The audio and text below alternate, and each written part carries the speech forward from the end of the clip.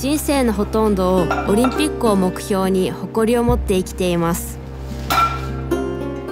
だけどこのコロナ禍になりスポーツは世の中が豊かで平和であって初めてできるものである贅沢なものであるとも気づくことができました。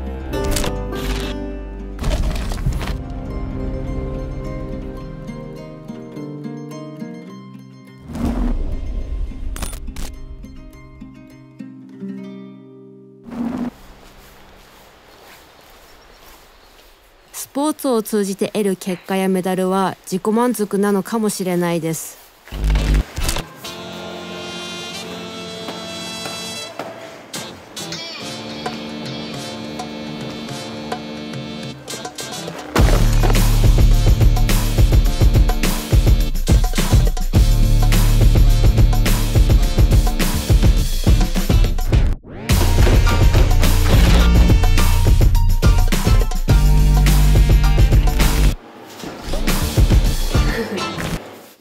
ただ世界のトップを目指す上で得られる経験や財産は世の中に還元しているものが多くあると思っています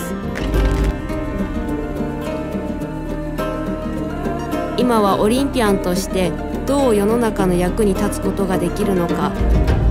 それを達成することが勝利以上の目標なのかもしれないです。